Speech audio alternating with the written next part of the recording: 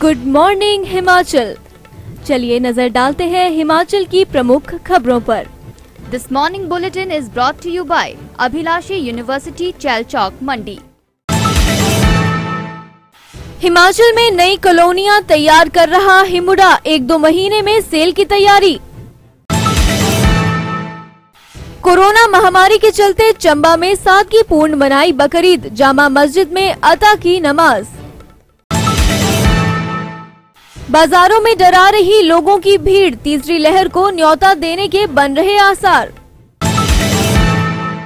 हर जिला में होगा ज्वेलर्स का पंजीकरण, नहीं लगेगी रजिस्ट्रेशन फ़ीस।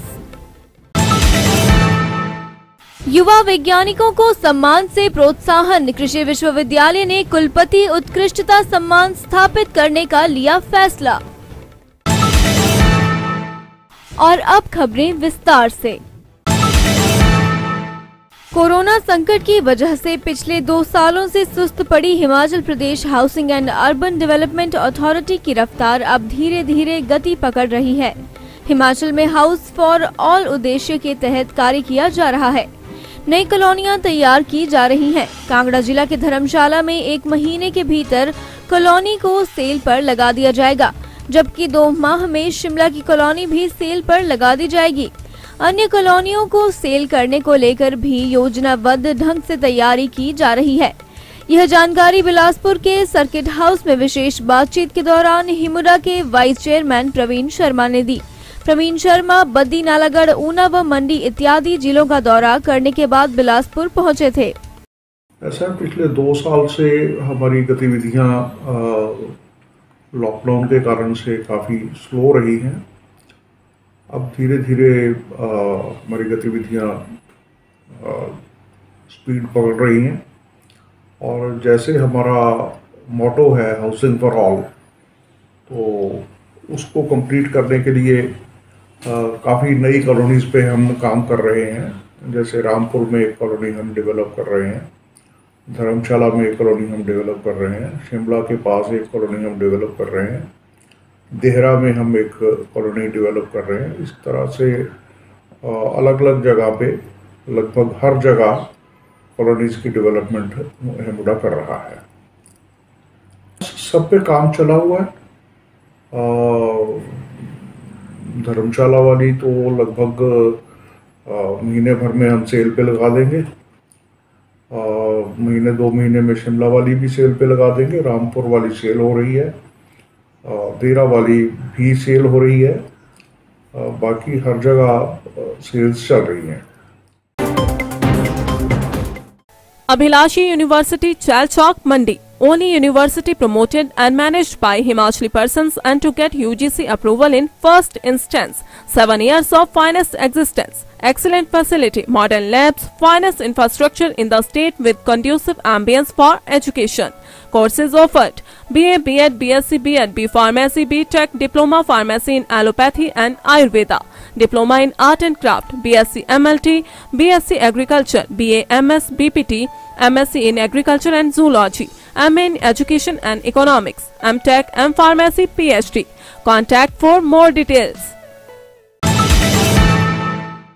जिला चंबा में आज ईद उल अजहा यानी बकरीद का त्योहार कोरोना महामारी के चलते सादगी पूर्ण तरीके से मनाया गया मुस्लिम समुदाय के लोगों ने कोविड प्रोटोकॉल की पालना करते हुए जामा मस्जिद चंबा में नमाज़ अता की कोविड के नियमों का पालन करते हुए सोशल डिस्टेंस बनाकर सभी ने नमाज़ अता की इससे पहले इस दिन चंबा के ऐतिहासिक चौगान नंबर पाँच में सभी लोग इकट्ठा होकर ईद की नमाज़ अता करते थे और एक दूसरे से गले मिलकर ईद की शुभकामनाएँ देते थे। मगर कोरोना महामारी के चलते दो वर्षों से बकरीद सादगीपूर्ण तरीके से मस्जिद परिसर में मनाई जा रही है। वहीं मुस्लिम समुदाय के लोगों ने अल्लाह ताला से इस कोरोना से पूरे देश को निजात दिलाने की दुआ की। महतरम नाजरीन आज ईद उज़हा यह जामा मस्जिद ज़िला चंबा में कोविड नाइन्टीन के गाइडलाइंस और सरकार की हिदायत के मुताबिक नमाज़ ईद उज़हा अदा की जा रही है।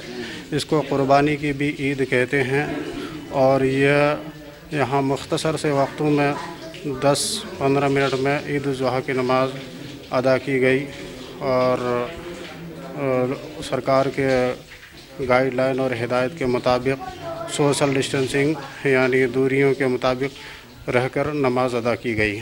पहले तो मैदान में चौगान में अदा करते थे, लेकिन अब जब ये महामारी है तो ये मुनासिब बात नहीं है कि वहाँ अदा की जाए। और इसी वजह से यहाँ मुख्तसर सी जमात करके जामा मस्जिद ज़िला चंबा में जम ईद की नमाज़ अदा की जा रही है।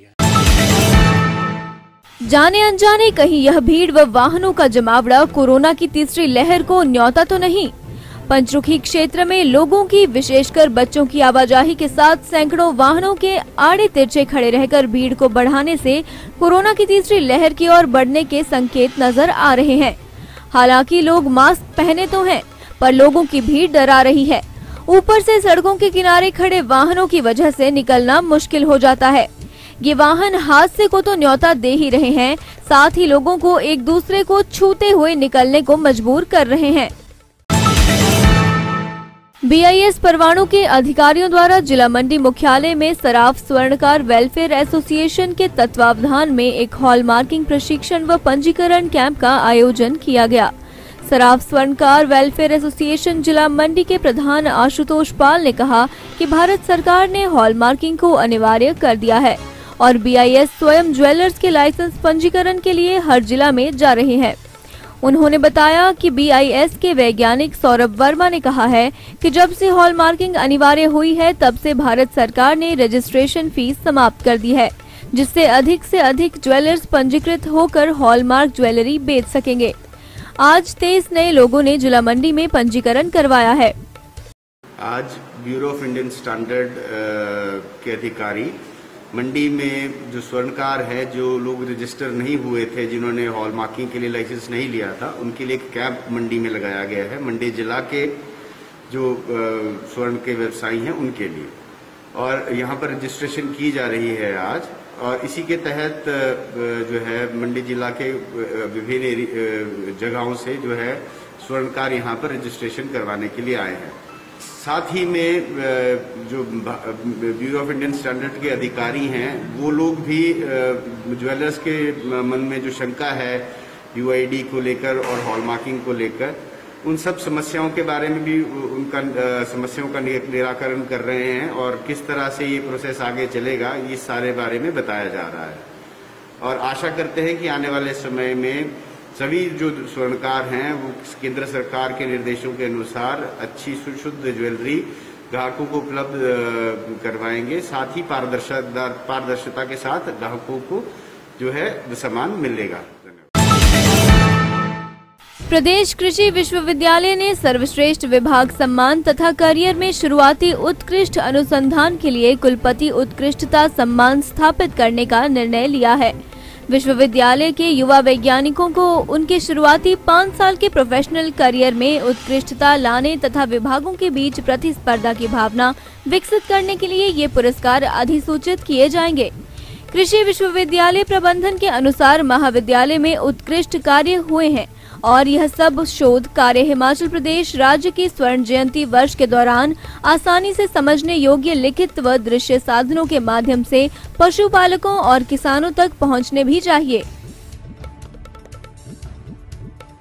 हिमाचल प्रदेश कृषि विश्वविद्यालय पालमपुर ने अभी एक नया आयाम स्थापित करने की सोची है। जिस दिशा में हम अपने सभी विभागों, चारों कॉलेजों के सभी विभागों को एक प्रतिस्पर्धा में ला रहे हैं और उसमें vice chancellor's best department award घोषित करेंगे। ये उनकी परफॉर्मेंस बेस्ड होगा, उसके लिए हमने प्रक्रिया शुरू कर दी है।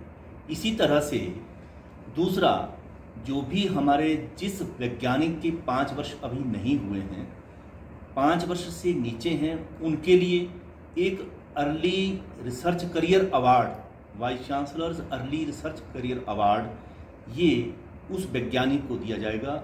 ये हर वर्ष एक डिपार्टमेंट के लिए और एक युवा वैज्ञानिक के लिए ये हम पुरस्कार विश्वविद्यालय की तरफ़ से देंगे।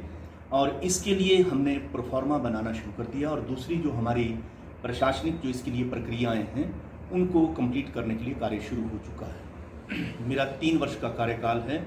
मैं चाहता हूँ कि तीन वर्ष में तीन बार ये प्रक्रिया मैं करूँ और इससे वैज्ञानिकों के अंदर एक प्रतिस्पर्धा की भावना रहेगी और आगे बढ़ने की प्रक्रिया भी रहेगी और उनकी दिलचस्पी भी रहेगी। इसी तरह से जो दूसरे विभाग हैं, उनके अंदर भी ये जागृति लाना हमारी जिम्मेवारी है और इससे मैं समझता हूँ कि विभागों के अंदर एक कंपटीशन की भावना आएगी और विश्वविद्यालय आगे बढ़ेगा। धन्यवाद।